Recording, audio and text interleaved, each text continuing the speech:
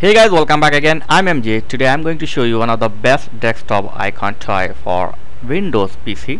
So just go to your Google and type here desktop icon toy and go to this first link.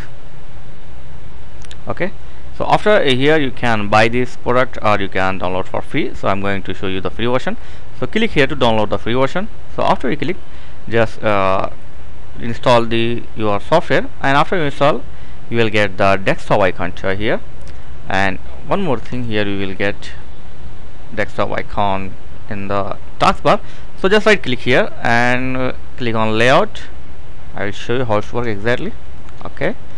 Click here right click on this and click on layout and click on miscellaneous here and you can choose anyone like circle. Look at that. Wow.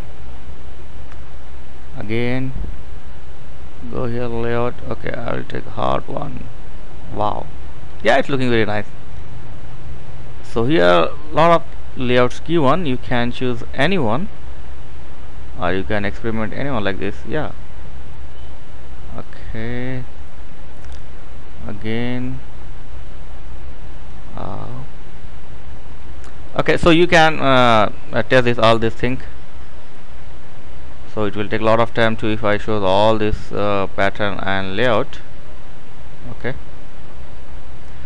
so like this you can make uh, your desktop looking different and you maybe you feel good in your desktop change.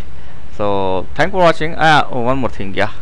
So if you want to get the normal thing uh, so go here and select uh, actual layout and click on default and click yes. Look at that. So it will come into a normal position. So that's it. Thank for watching. See next video. Please don't forget like comment and subscribe. Thank you very much